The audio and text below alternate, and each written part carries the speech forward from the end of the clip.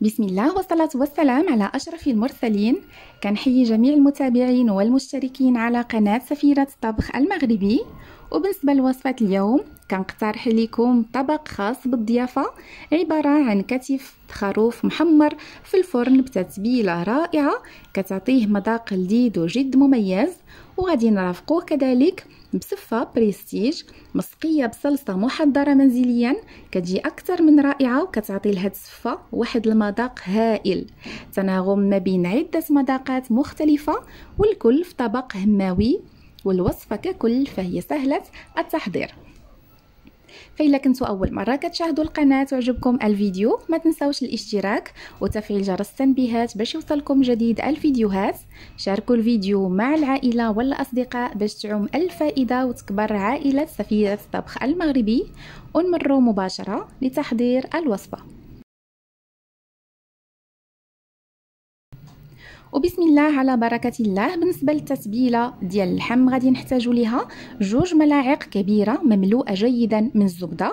فالدور ديال الزبدة أنها كتهشش لنا اللحم بالإضافة أنها كتعطيه واحد المذاق رائع. وما نصحكمش نهائيا أنكم تستعملوا الزيت لأن الزيت كيمنع تماما انه اللحم يتشرب لنا التوابل. غادي نحتاجو كذلك ملعقة كبيرة مملوءة جيدا من الخردل أو المطارد اللي الدور ديالو مهم جدا في هذه التتبيله بحيث أنه كيفتي لنا اللحم كيعطيه واحد المذاق جميل واللحم كيطيب لنا بسرعة. غادي نحتاج كذلك الثوم بالنسبة للكمية استعملت ست فصوص ديال الثوم غادي نستعملهم على هذا الشكل وما غاديش نحتاج نهائيا أننا أنني نبشرهم.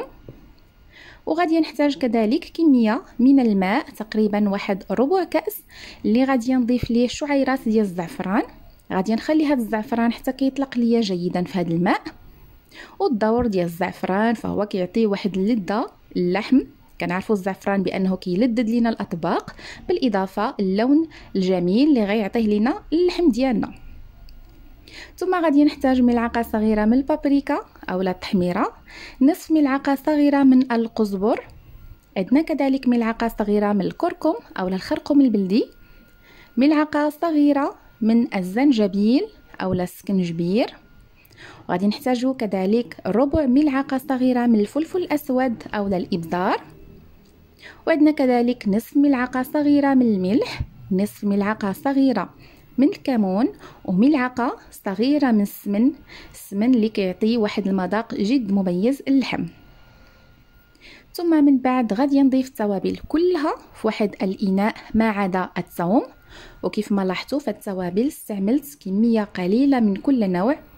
فبالنسبة لهذا النوع ديال الوصفات ما نكثروش نهائيا التوابل لأنها كتوضر لنا المذاقات ما كنبقاوش عارفين المذاق ديال الوصفة. ككل اللي غادي نستهلكوها. ثم بالنسبة للملح فكيف ما لاحظتوا استعملت فقط نصف ملعقة صغيرة وهذه الكمية كانت كافية بالمقارنة مع كمية اللحم اللي عندي. وما نساوش بأننا غادي نرافقوا الملح والكمون أثناء تقديم الطبق فلهذا ما نكثروش منه. غادي نخلط هاد العناصر كلهم مع بعض. ثم غادي ناخذ كتف الخروف وغادي نوضع الثقب بالمساعده ديال السكين. غادي نحاولوا آه نديروا الثقب اللي كيكونوا غارقين هكذا باش ملي نكون كنتبل في اللحم كنوضعوا التتبيلة في هذوك الثقب. وكيتبل لنا اللحم جيدا كيجي لذيذ بالإضافة إلى أنه كيطيب لنا بسرعة.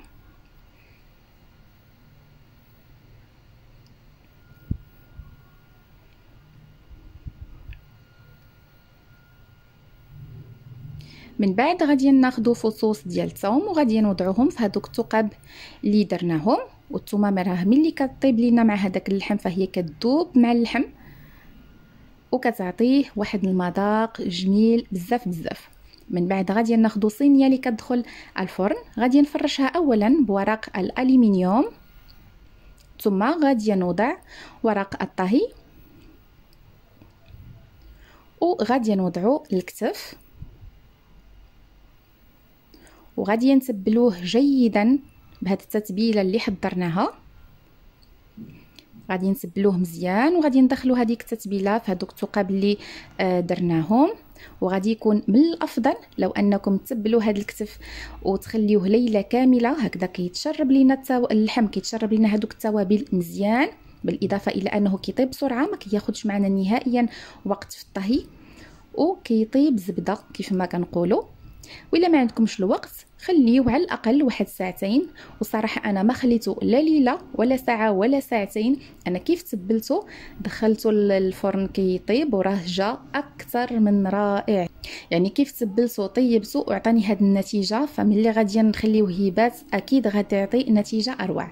من بعد غادي نلفو اولا بورق ديال الطهي جيدا وهاد الخطوة راه مهمة ضروري غادي نلفو آه الكتف مزيان. ما نخليو حتى شي منفذ ديال الهواء هكذا باش كيطيب لينا آه مزيان.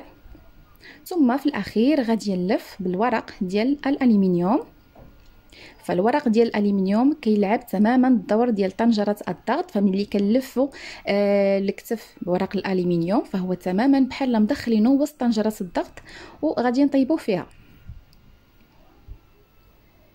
غادي نلف جيدا ونحاولوا ما نخليو حتى شي منفذ نهائيا ديال الهواء ونتاكدوا بانه هذا الكتف مغلف جيدا بالورق ديال الطهي وكذلك بالورق ديال الالومنيوم هذه الأثناء الفرن كيكون ساخن جدا. غادي ندخلو.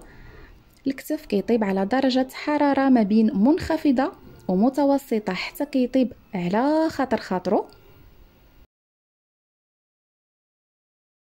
ونمروا مباشرة باش نحضروا السفه بالنسبة للسفه غادي نحتاجوا السميد الخاص بالكسكس. كيف ما كتلاحظوا السميدة العادية ديال الكسكسو. أنا هنا استعملت تقريبا واحد 500 غرام. غادي نوضعها في القصرية. ثم غادي نضيف ليها الزيت. غنضيف واحد الكمية مناسبة. وغادي نخلط هاد الزيت مع هذيك السميدة. أولا غادي نبس بس هاد المكونات آه جيدا. هكذا باش دوك الحويبات ديال السميدة ما كيلتصقوش مع بعض. وهنايا غادي نطيبوا هاد السفه ديالنا بالطريقة المغربية التقليديه الأصيلة طريقة اللي سهلة جدا خصوصا بالنسبة للمبتدئات. من بعد غادي نوضع هاد السميدة في الكسكاس. ومباشرة غادي نوضعها فوق البرمة اللي وضعت فيها الماء والماء ضروري خاصو يكون مغلي. وغادي نخليها كتفور للمرة الأولى. تقريبا غنعطيها من 10 حتى ل 15 دقيقة. وهنا من بعد 15 دقيقة بالضبط. غادي نزولها من النار. غادي نوضعها في القصرية. ثم غادي نضيف الملح اللي كيبقى دائما على حسب الذوق. وغادي نضيف الماء. غادي نسقيها جيدا بالماء. وبالنسبة لكمية الماء فهي كتختلف على حسب كل سميدة. كاينة السميدة اللي كتشرب لينا الماء كاينة السميدة اللي ما كتشربش. فلهذا عينكم ميزانكم. غادي نخلط جيدا بملعقه خشبية لأنه السميدة راه ساخن وغادي نخليه كيرتاح حتى كيتشرب ليا جيدا هذاك الماء. ونمروا مباشرة باش نكملوا باقي التحضيرات. هنايا عندي المشمش الجاف. غادي نوضعوه في واحد الإناء وغادي نصب عليه الماء ساخن جدا. غادي نخليه حتى كيتنفخ. عاد من بعد غادي نكملو التحضير ديالو. ثم في كاسرول غادي نعسلو البرقوق. غادي نوضع في هذا الكاسرول البرقوق المجفف. غادي نوضع عليه الماء. غادي نضيف كذلك جوج ملاعق كبيرة من السكر حبيبات. ثم غنضيف ملعقة أولا القليل من المسكة الحرة. باش يتعلك لينا. وغنضيف ملعقة صغيرة من القرفة. وغادي نضيف جوج ملاعق كبيرة من ماء الزهر وغادي نوضع الكل فوق النار. وغادي نخليه حتى كيتعسل تماما على نار متوسطة. هنا من بعد ما ارتاحت لينا السميدة وتشربت لينا هذاك الماء اللي وضعناه غادي نوضعها في الكسكاس. وغادي نوضعوها كتفور للمرة الثانية. وكذلك غادي نعطيها من 10 حتى ل 15 دقيقة. وهنا كيف ما كتلاحظوا صافي البرقوق راه تعسل. غادي نزولو من النار. وغادي نحضروا المشماش. هنا من بعد ما صفيتو من الماء. غادي ناخذ كاسرول غادي نوضع فيها الزبدة. غنوضع كذلك جوج ملاعق كبيرة من سكر حبيبات وجوج ملاعق كبيرة من ماء الزهر.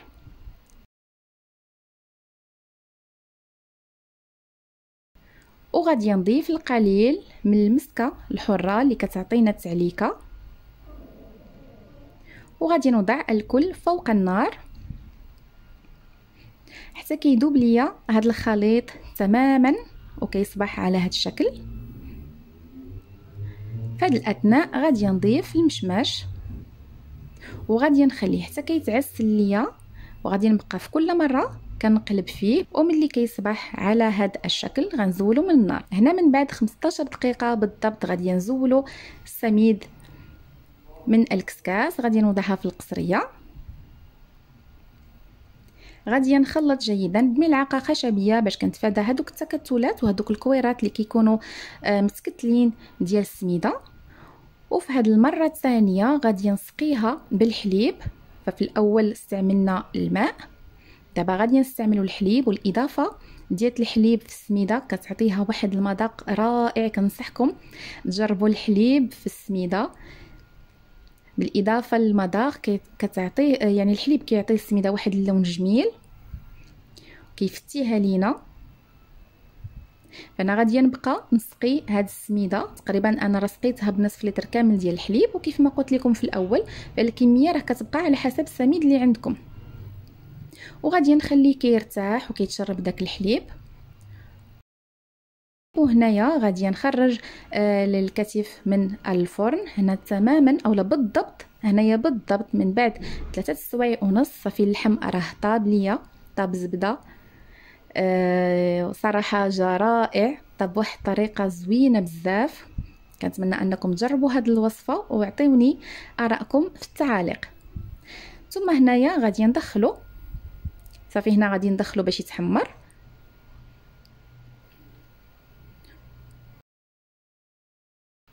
هنايا من بعد ما تشربت ليا السميده جيدا هذاك الحليب اللي وضعناه. غادي نضيف الزبيب اولا العنب المجفف في الكسكاس. من بعد ما غسلته جيدا عاد غادي نوضع فوق منه السميد وغادي نوضع الكل كيفورو للمرة الأخيرة يعني للمرة الثالثة. وغادي نخليه بطبيعة الحال من 10 حتى ل 15 دقيقة. عاد غادي نزولو من النار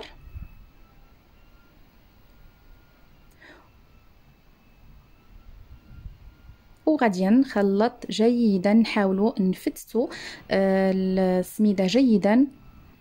هنايا غادي نضيف الزبدة. جوج ملاعق ممتلئة جيدا من الزبدة. وغادي نخلط مزيان.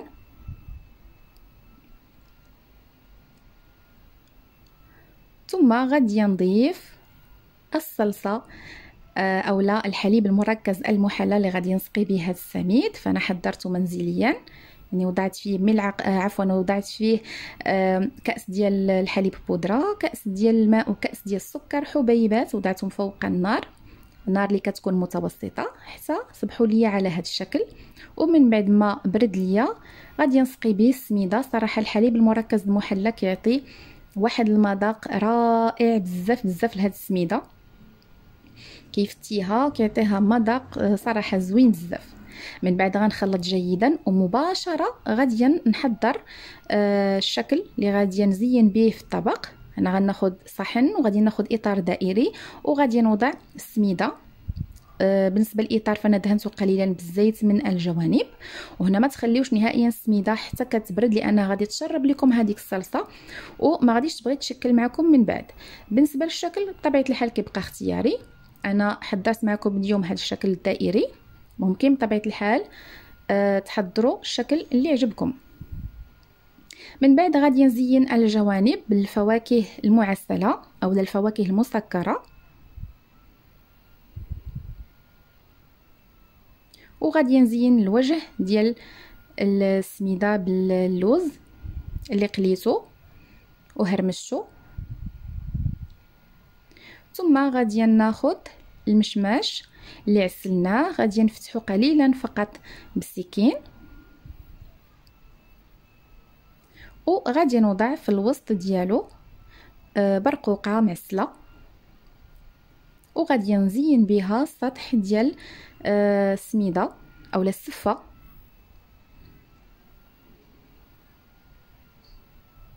وغادي نستمر بنفس الكيفية حتى غادي نكمل. التزيين اللي عندي وتزيين كيبقى اختياري. وكيف ما لاحظتوا راه يعني هاد الأشياء اللي خدمنا بهم فهي راه سهلة جدا وفي المتناول يعني ماشي شي حاجة صعيبة. ثم من بعد غادي ناخذ الصحن اللي غادي نقدموا فيه أو الطبق اللي غنقدموا فيه غادي نفرشوا بالخص. ثم غادي نوضع الكتف اللي حمرناه. في الفرن ما ضفت ليه حتى شي حاجة فقط بهذيك التتبيلة اللي بقات فيه آه هي اللي غيتحمر فيها. ثم وضعت الصحون ديال الصفة. هنايا ديك الصلصة اللي كتبقى ليا آه في في اللحم. يعني اللحم ملي كيطيب في الفرن كيطلق لينا واحد الصلصة. هذيك الصلصة هي اللي وضعتها في هذه الكؤوس. ثم غادي نزين بالبرقوق المعسل. وضعت كذلك الملح والكمون. غادي نزينو كذلك بالمشمش المعسل. وغادي نزينو باللوز. زينت كذلك بالبيض المسلوق. وبالنسبة للتزيين فهو كيبقى اختياري وغادي نبقى إن شاء الله. في كل مرة غادي نحضر معكم طبق جديد مع تزيين مختلف هكذا باش كنعطيكم أفكار مختلفة ومتنوعة. وكانت هذه هي وصفة اليوم. كنتمنى أنها تنال إعجابكم. خليو لي آراءكم في التعاليق وكنتمنى فعلا أنكم تجربوها لأنها كتجي صراحة لذيذة بزاف بزاف. ممكن أنكم توجدوها لضيوفكم لعائلتكم لما لا وصلنا لنهاية الفيديو. نتلاقاو إن شاء الله في فيديو قادم مع وصفة جديدة. إلى اللقاء.